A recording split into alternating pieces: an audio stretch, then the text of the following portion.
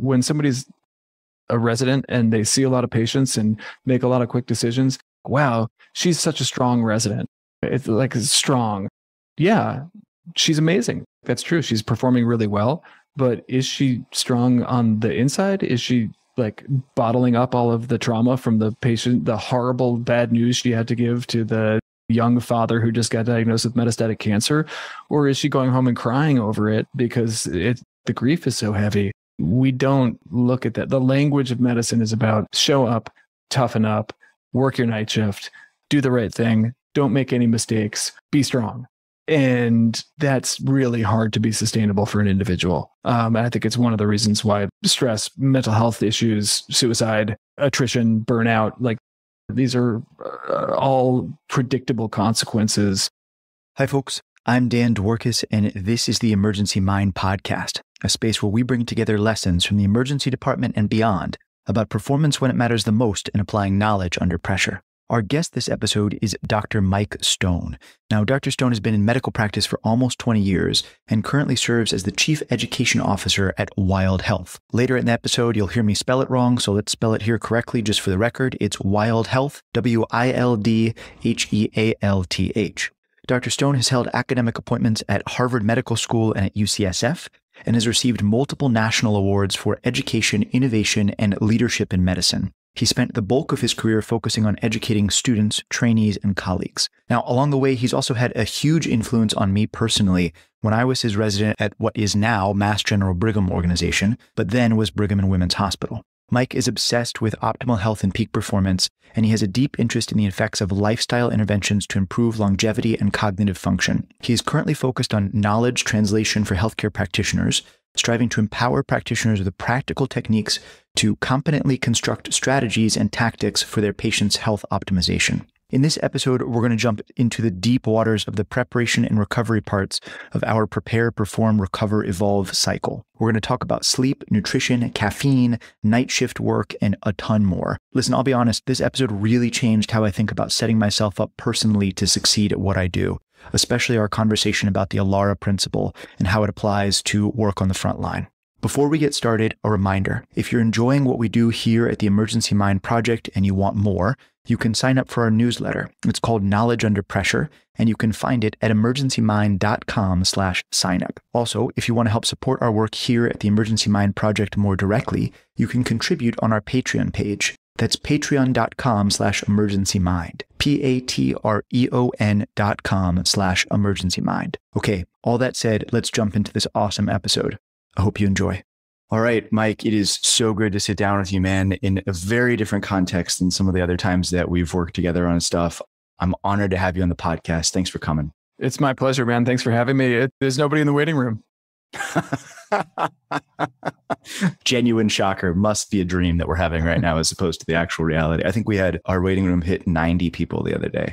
Unbelievable. On, on top of a, whatever we have, 100 and 20 bed ER or something like that. So 150 bed ER. So that is a considerable amount of folks needing care. In any case, for folks that don't know you, that aren't familiar with what you're up to, either past, present, or future, do you mind giving folks just a real quick introduction to who you are and what you do? Yeah, sure. I'll spare people all the personal childhood stuff and go straight to the professional history. So I trained as an emergency physician out in California about 20 years ago worked in academic critical access and community hospitals for about 15 to 18 years and then transitioned into precision medicine about two years ago. So got involved with a startup called Wild Health that provides genomics based personalized care. So really looking at moving the care continuum leftwards and getting to the root of things like metabolic syndrome, diabetes, hyperlipidemia, cardiovascular risk, and meeting people where they are working on lifestyle interventions predominantly to reverse some of these chronic diseases and keep people healthy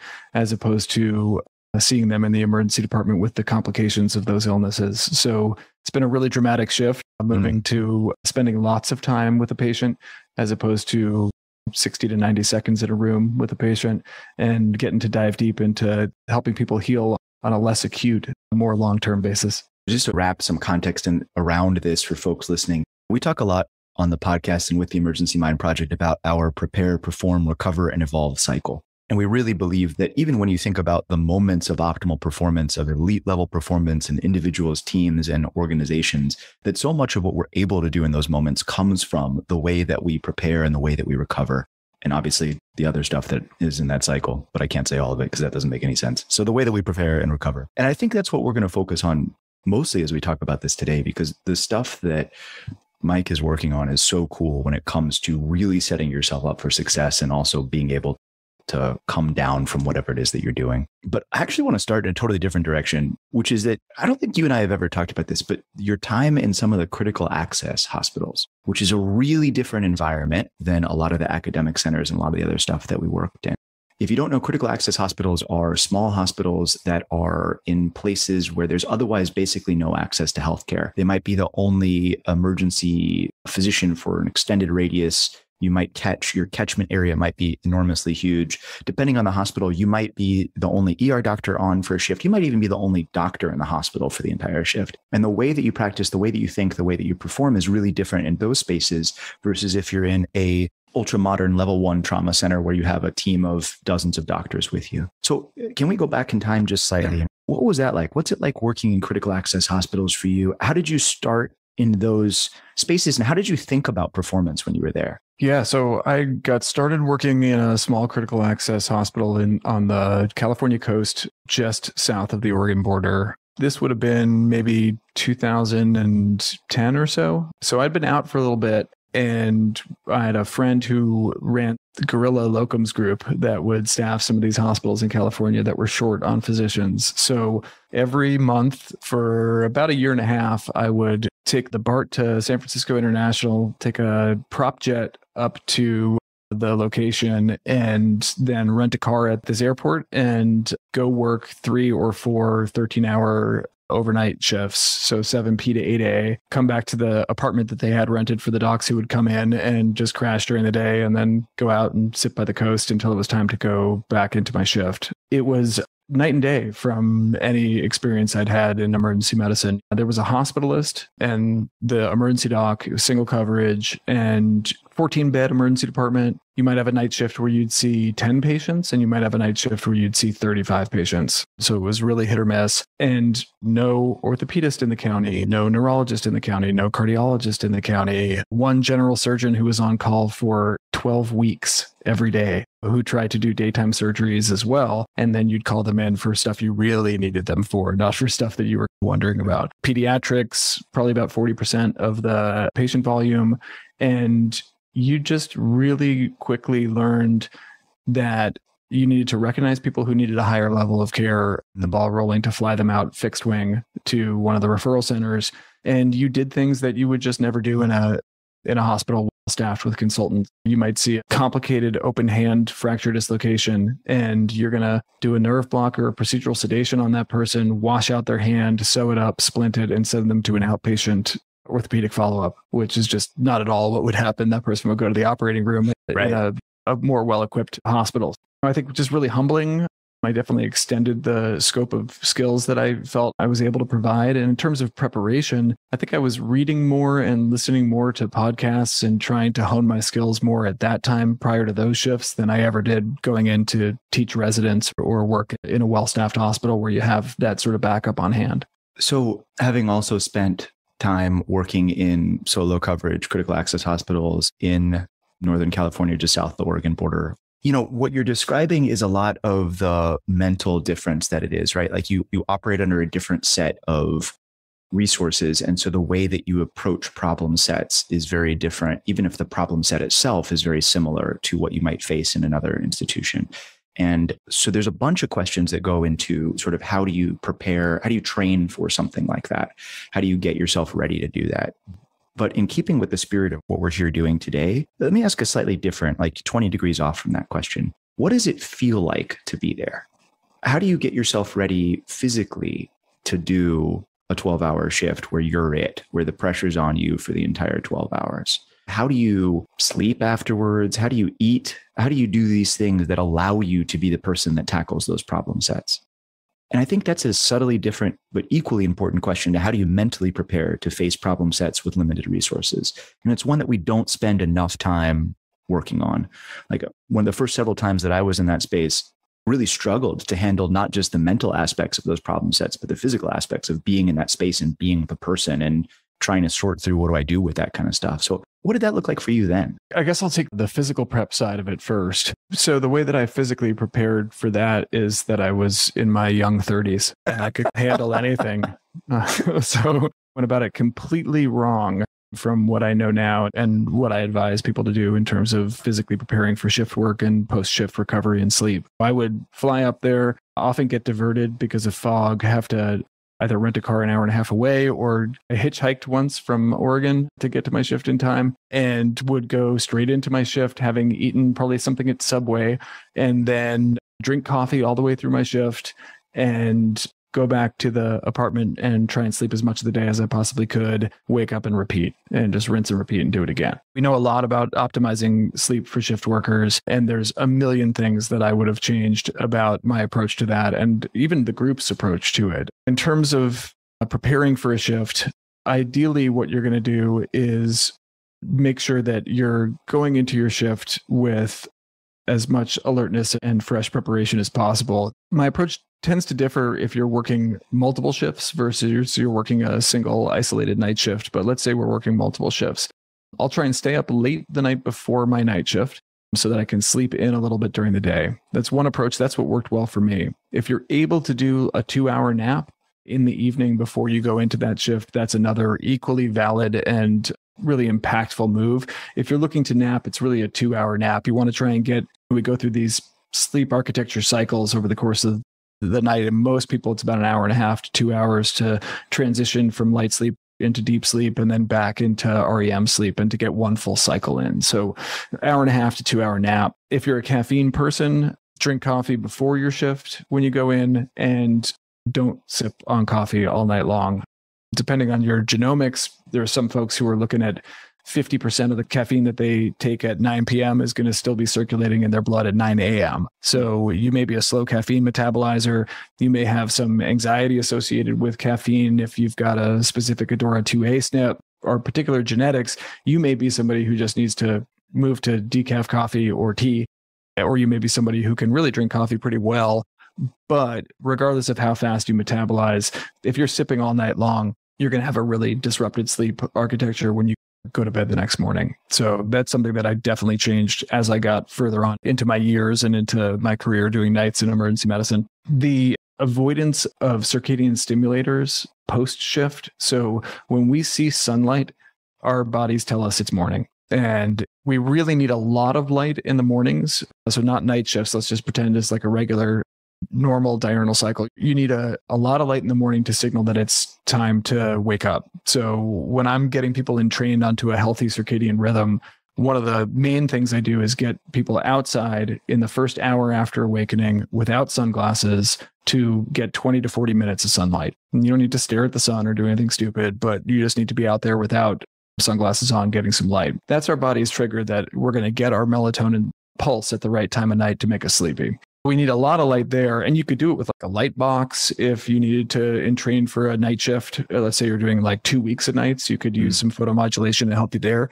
But we really need next to no light to ruin our nighttime cycle. So when you get off of an 8 a.m. shift, it's light outside already and you really need to have some hardcore wraparound sunglasses on if you're going to be able to get from the emergency department back to your apartment or your home to get some sleep and not trick your brain into thinking that it's actually morning time and you need to be waking up so not only my own practice of I didn't do that at the time. I certainly started doing that later in my career, but also just the groups practice. Like you should not be having people get off of the night shift at 8 a.m. You want to end your night shifts at maybe six, or if you have the the staffing for it, you want to do casino nights and have people, you know, go 10p to 4a.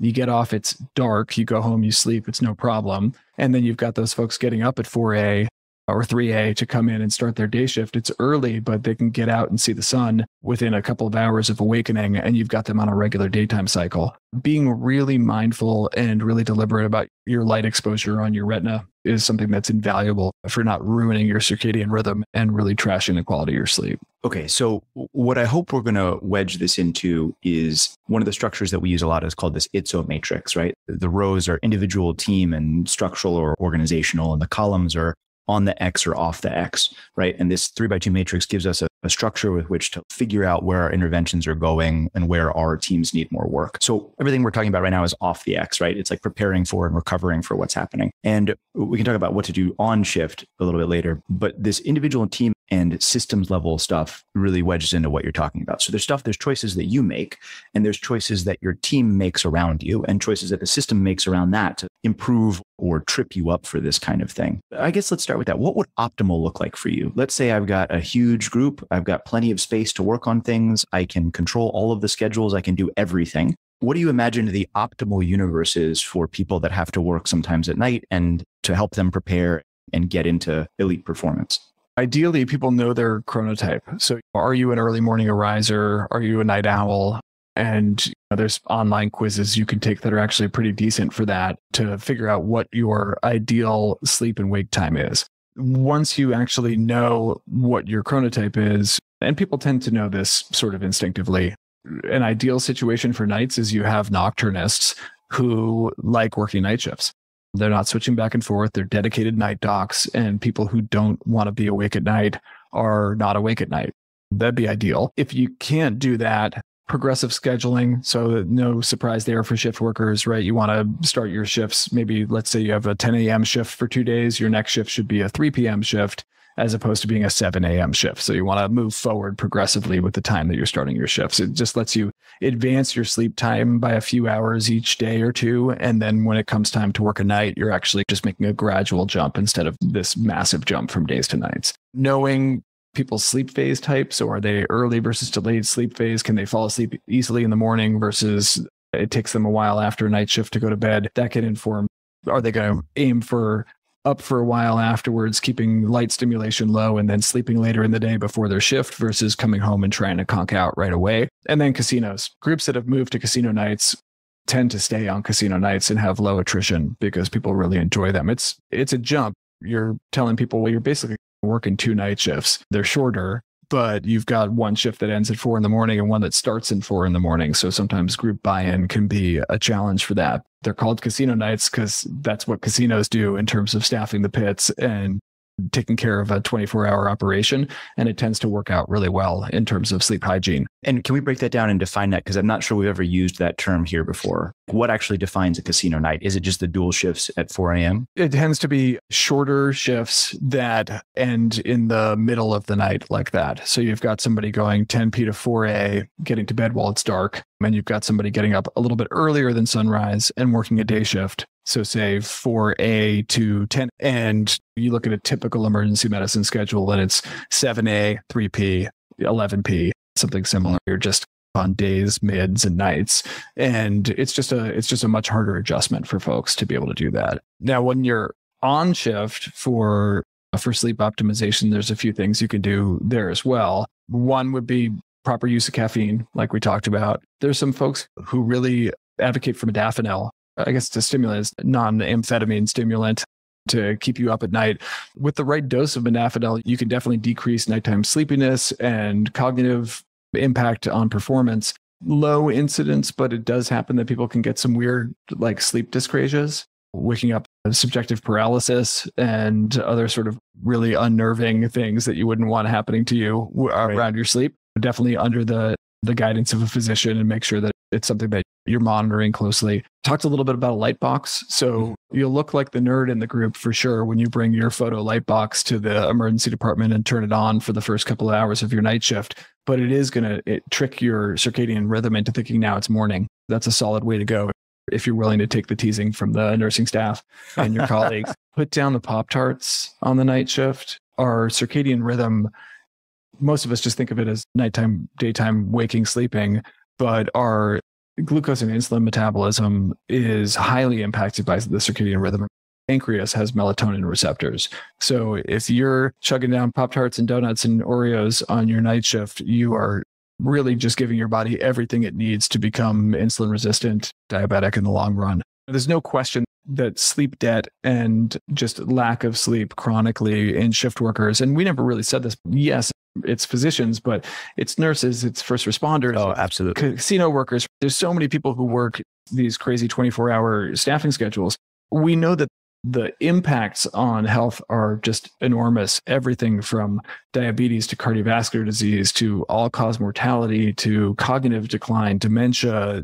The list goes on and on. I wonder how much of a contribution just what people eat on night shift has to those studies because if you've ever been in a night shift in an emergency department it's not like a whole foods healthy salad with some grass-fed protein on it it's processed foods uh, highly caloric low nutritional value and i think we're really tuned up to have that really impact our bodies negatively just so much more so than if you're eating that same junky food during the day. That's the sort of the last thing, and I'll, I'll pause and stop talking there. We can go where we want, but don't eat before bed when you come home after your night shift. Pre night shift, a little bit of optimization during the shift itself. And then from a health perspective, definitely you're blocking out light, but don't come home and eat. Number one, you're going to make, if anybody's done this, which I mea culpa, I for sure have, you do not make healthy choices when you come home after a night shift. You're going to go straight to the leftover pizza or the cookies or whatever's sitting around. And again, you're just, you're at a phase in your cyclical insulin metabolism where you're relatively insulin resistant at that point. Feeding yourself after a night shift is just a, it's a recipe for metabolic syndrome and prediabetes. All right, we're going to pause briefly where I consider all of the mistakes that I have made over the past. If I can recommend a real a real slap in the face for any interested listeners, if you have not read Why We Sleep by Matthew Walker, phenomenal book. I think the unifying take home from that for anybody who has worked night shifts is, oh my lord, what have I done?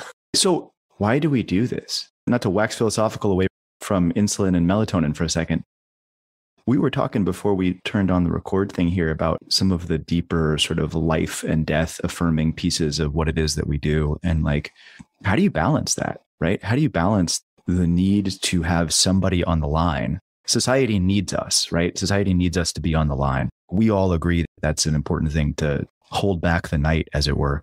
And how do you balance that with the personal cost of doing this kind of work? I think somebody shows up and tries to rob your 24 hour convenience store at three in the morning. You really hope that there's a police officer who's working the night shift. It's societally, there are just certain services that we expect to be available all the time. Obviously, a, an uh, emergency department's one of those. I think we could do a lot better job of letting people who go into these careers know about the risks and the impact on your life that shift work and overnight work is going to have. I think you hear about it in medicine, but I definitely, and granted, I was in medical school in the dark ages, but we did not have any knowledge or or real instruction around the impacts of long-term overnight shift work on health and longevity. And I think that it's just something that doesn't get talked about much. I I wish I had a good solution for how to make this sustainable and not have a negative long-term health impact. But if you're going to look at us from an ancestral or evolutionary perspective, human beings sleep at night. Guess what? So do all diurnal mammals. That's how we're built. We need this. What happens when we sleep?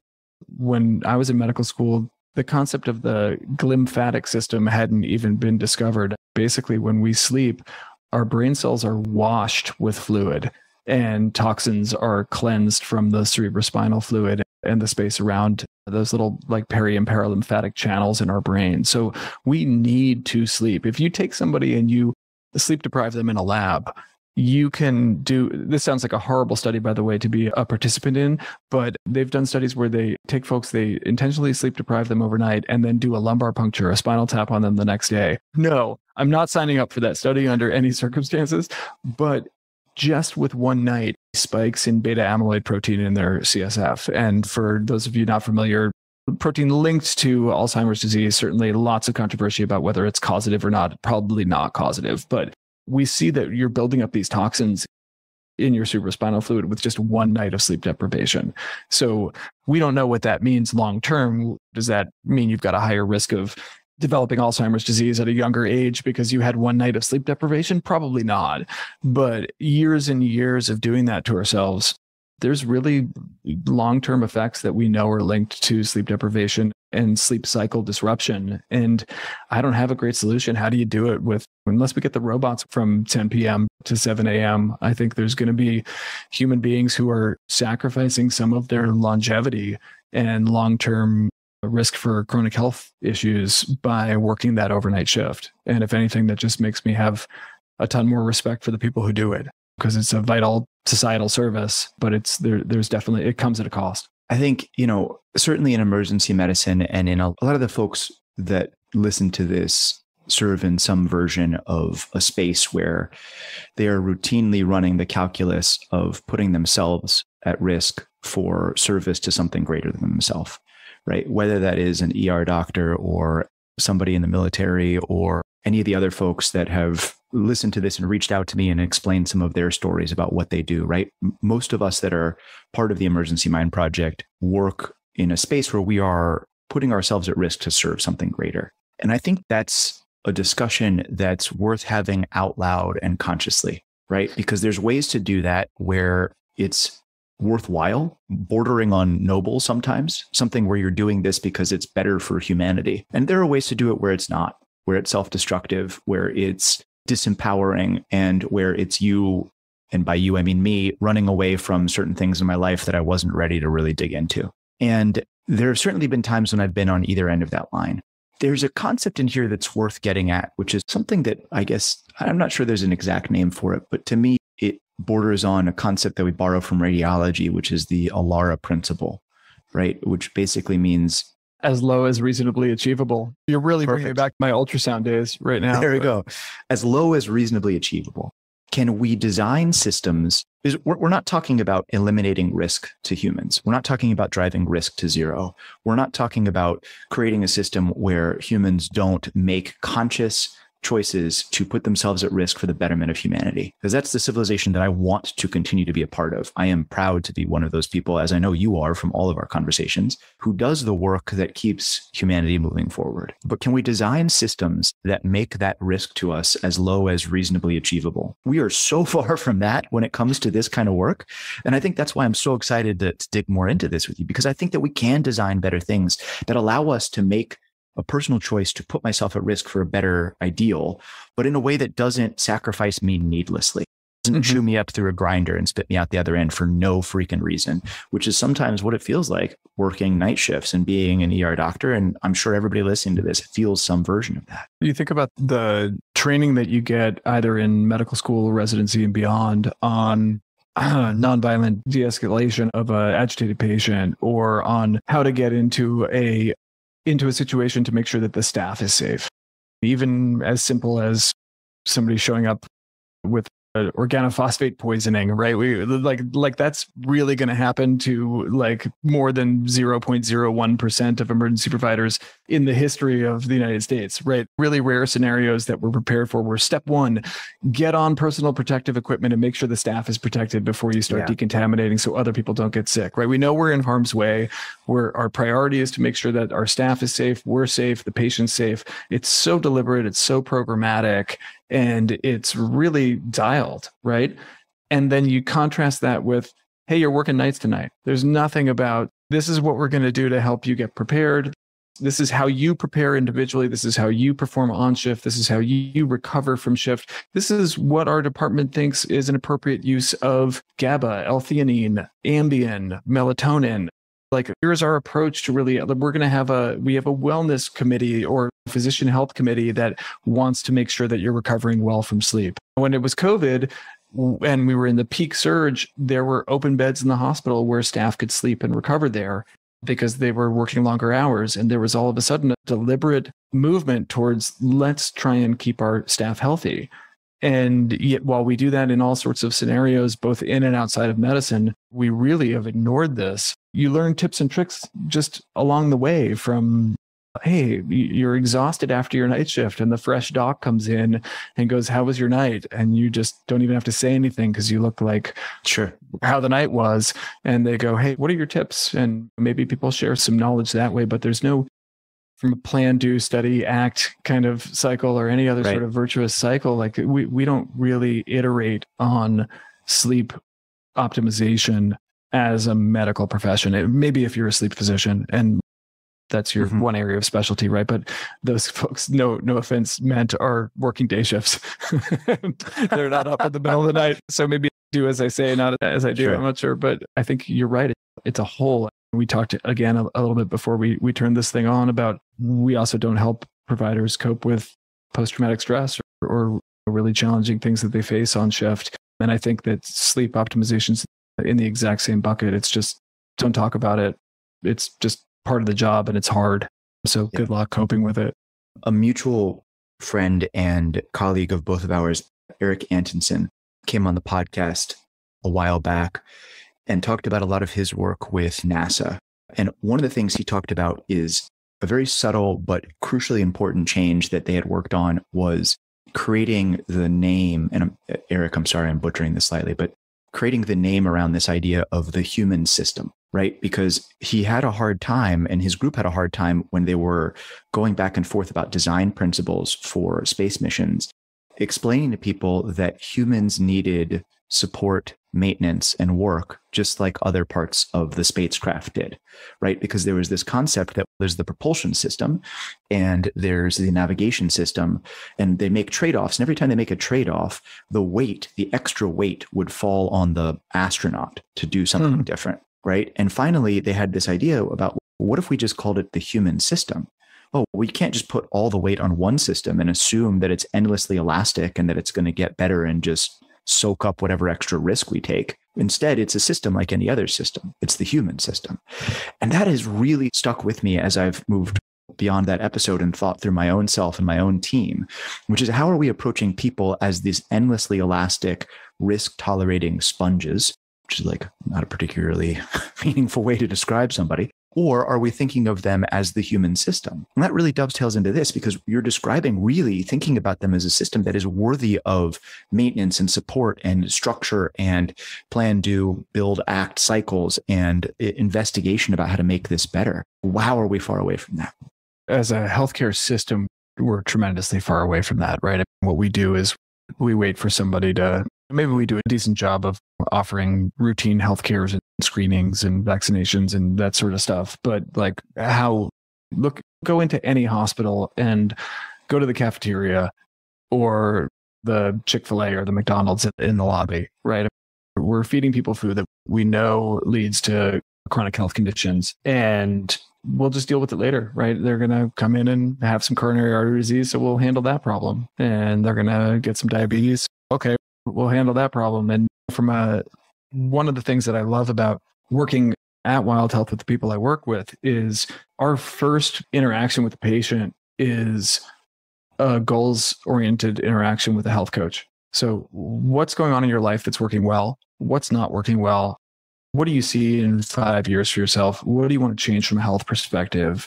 And then we're able to dive deep into people's not just labs and genomics, but their actual their medical history, their intentions, and go, let's run some, we don't call them plan, do, build, or study act. We just say, all right, let's get to work.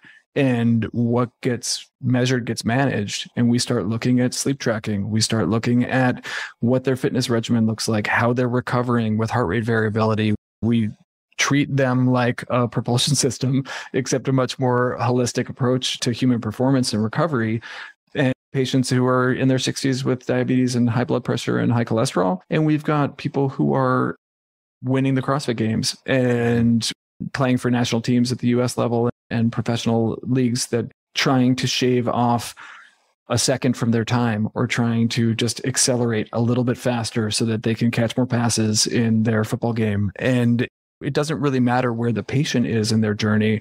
It could be somebody who's pretty healthy and just wants to be able to pick up their kids and play with them when they're a grandparent, or it can be somebody performing at like the elite athletic level. Everybody benefits from a holistic look at how is your human system performing right now and where are the areas where we need to spend some time and attention? What's running really well that could probably be deferred for a few months?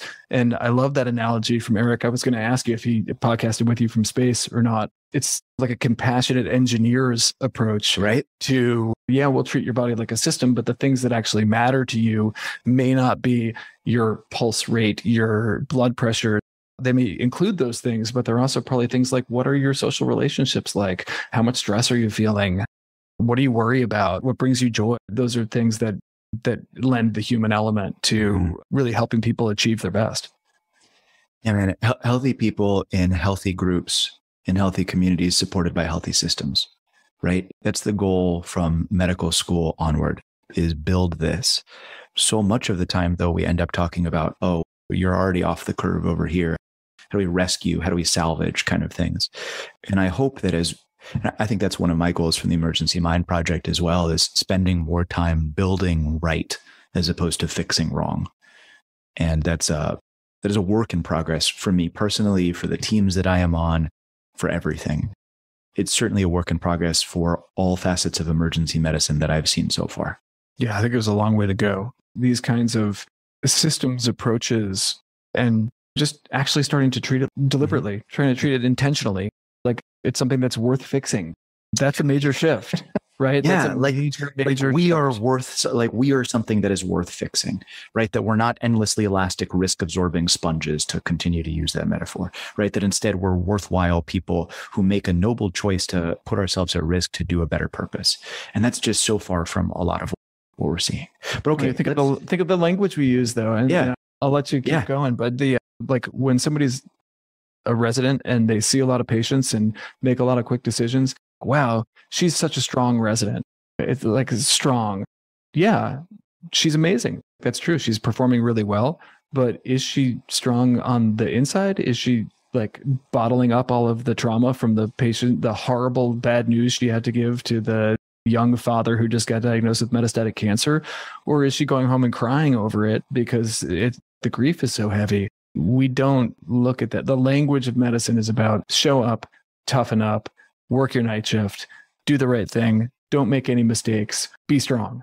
And that's really hard to be sustainable for an individual. Um, I think it's one of the reasons why stress, mental health issues, suicide, attrition, burnout, like these are uh, all predictable consequences of running a high stress environment with no room for error with no deliberate discussion of how to keep yourself healthy, both physically, emotionally, spiritually. So the kind of work that you're doing here, the these kinds of discussions, I think, are so important to work towards a professional, societal level healing, and not just individuals. Like I think it's growing, right? If you're seeing these conversations more. These yeah. are people are talking about burnout. It, th- this stuff was for my like third reference of how old I am. This one, like nobody talked about this this yeah. was just not a thing when I went through medical school. And honestly, when I went through residency, and I loved sure. my residency, some great years, but nothing about, hey, this takes a toll on you and we want to keep you healthy and make sure you're doing okay. We had nothing like this at Harvard where you and I intersected the first time either, right? Like this just wasn't part of what we were training. And I'm proud to say that we're bringing some of that training into our residents now, although it's still in a really nascent stage as we're learning how to do it the right way. Let's bridge off that, right? So we have this tradition of calling people who show up burn as hard as possible for their entire shift, and then go back to whatever void they came from as a strong resident.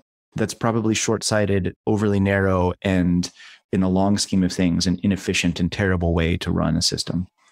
What would you replace that with? How do you structure that kind of conversation to and with residents that helps you and them see the larger picture? Let me turn that around a little bit I'm just as guilty because I was your attending at one point, but has a, a supervising physician or a senior resident or an attending ever stopped you in the hospital setting and said, Hey man, how are things going? Are you happy? I think there were one or two times when that happened, but those happened at times when there were already known to be difficult things going on in my life or in the lives of my counterparts. There's a chunk of time where I was sleeping on a bare floor and a sleeping bag on somebody else's apartment because of various things in my life in between night shifts. Talk about not a particularly great setup. And eventually that became known to the greater residency and folks were like, Dan, can we help you here? And so like there, there's a level beyond which it kicks in. That was a pretty far example off of the curve. And there's your traditional healthcare system approach, right? right. It's already broken. So now we're going to try and fix it. But where's the how are you doing? Clearly you're doing a great job seeing patients. You seem like you're performing really well, learning the skills of emergency medicine, according to the rubric of how you're supposed to progress. But what's going on personally for you? Are you having a lot of stress? How are you sleeping? Are you getting out and moving your body? What's going on with you? And where are you at right now? Are there things that are happening to people that you love that are stressing you out? It's that proactive, open ended questions, investigative, curious approach of how is this person who I work with actually doing? And not let me wait until they show up unshaven and with bags under their eyes. And then I'm going to ask them how they're doing. And I think that's a fundamental shift that actually doesn't take that much effort. Regular check ins. And if you're doing really well, which let's face it, uh, are, you know, how many of us are always doing really well? Not that much. But if you're doing really well and it's a good time for you and you feel like you're living intentionally the way you want, that's a short meeting. That's a really short meeting, right?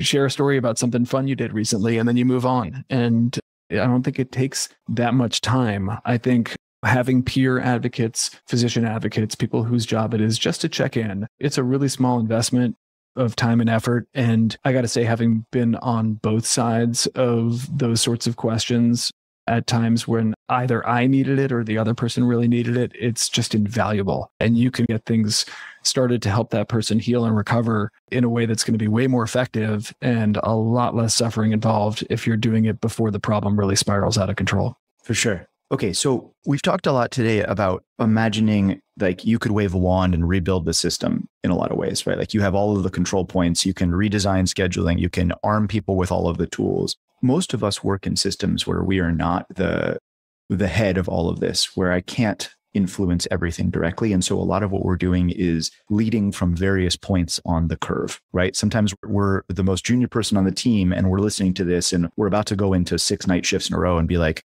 relatively limited control over even like my immediate needs of going to the bathroom or drinking water. Reference back to my time as a medical student on surgery and just wondering when the next time i could drink water would be or you're somewhere beyond that, but you're running a small team, or let's say you're the doc overnight at one of these critical access hospitals. You're a locum, so you're not permanent. You're there sometimes. You're trying to bend the culture everywhere around you. How do you do that? The things that you would want folks to start bending in their immediate environment, one of them being to proactively check in with their teammates before things are bad. I think there's a couple of things. If you're junior enough on the medical or other professional hierarchical totem pole that systems level changes are going to be really difficult. You just you don't feel like you've got a voice that you can really bring to it in terms of the big things scheduling and timing of shifts etc i think optimizing your own performance both pre on and post shift is that's low hanging fruit you can dive into right away. And we haven't even talked about a cold dark room white noise, letting your family or other people know on days that you're going to be sleeping during the day, no electronics in the room. So you're not getting that breakthrough. I thought I put sleep mode on my phone, but here's like AT&T calling me about a promotion and disturbing your sleep. There's so many things that you can do to just optimize how you perform. That's one. And that doesn't involve anyone else. So that's all on the individual level. Maybe family and friends involves a little bit, but they'll support you. When you look into team based training. And I know you're really uh, deep into team based training and optimizing team performance. Meeting just at the beginning of a shift. I think I did that when I worked nights in that critical access spot. I would just spend five minutes, go around, say hi to the folks who were on. If I didn't know them, I'd introduce myself because maybe it was a locums nurse coming who I hadn't worked with before and just open up channels of communication. Say, hey, if things are spiraling or you've got a patient that you're not really sure what to do with, I'm really happy for you to come and talk to me instead of guessing. You know what you're doing. I don't want to get in your hair, but I don't want you to feel like you can't come and talk to me or you don't want to bother me. And that goes a really long way because we don't even think that as physicians, I think we often don't think other people may not want to bother us with things because we are. We're running around and we're busy. But was there ever a problem that came up in the emergency department that I wished I learned about later? Not once. Just having that open communication. And sometimes folks really just need you to tell them outright, I'm here. I'm not going to make fun of you. I'm not going to be annoyed that you're bothering me. If I'm busy doing something, I may hold up my hand and give you a five. I'm going to come talk to you in five seconds, but I want you to be able to talk to me. And as you build those relationships, I was going there maybe two or three months. And at that point, I knew the staff that was there and I check in with them. How was the last few nights with Dr. X, Y, or Z who was working? Are things running smoothly? Anything going on that I can help with? And once or twice, I had somebody tell me about something that was going on at home.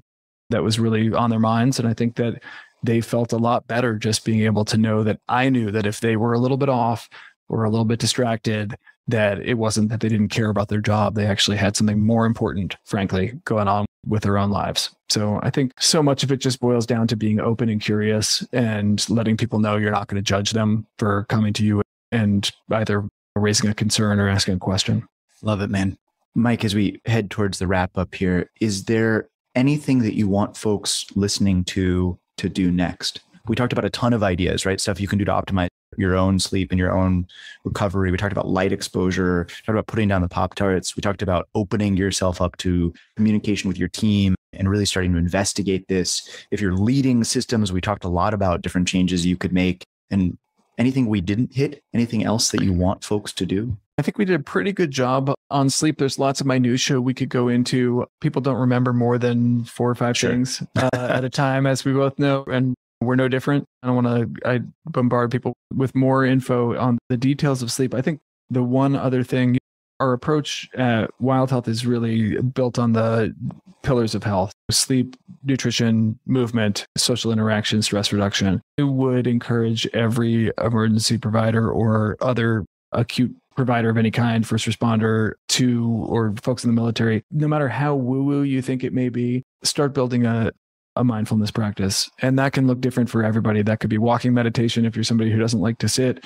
It could be mindfulness meditation with one of the half dozen or dozen excellent apps out there to get you started with guided meditation if you're not already doing it. Could be holotropic breath work or just box breathing or or resonance breathing. I think the fact that we don't institute that for people working in acute care environments as a mandatory, the same way we institute tuberculosis screening is shocking to me. And that'd be the one other thing, just from a making these implicitly difficult, challenging jobs a little bit easier is building up a way to to handle some of that allostatic emotional load and just be a little bit more emotionally and spiritually resilient. I love it, man. For folks that want to learn more about Wild Health, where can they find you? So you can go to wildhealth.com if you're interested in becoming a patient, if you're interested in learning more on the provider side as either a health coach or a provider. There's a, a wildhealth.com forward slash fellowship. There's a couple of different options in terms of a really high touch uh, mentoring experience versus a more asynchronous online experience. They're both CME accredited and it's an amazing group of like minded folks who are trying to change medicine one little bit at a time. Just straight up wild health, W I L D H E A L T H dot com. Perfect. Mike, thank you so much for coming on this podcast. It is an honor to get to talk to you about all of this and just thank you, man. It was a pleasure. I feel like we're going to turn off the recording on this thing and we're still going to talk for another two hours because there's a lot to cover, but happy to join you. And yeah, really appreciate the invite. And folks, if you're listening to this, I just want to end by saying you are not an endlessly risk absorbing, replaceable sponge. You are, in fact, a really unique, wonderful human being that deserves to have all sorts of systems wrap around you that allows you to consciously make the choice of when you want to put yourself at risk, when you need to put yourself at risk for the betterment of society.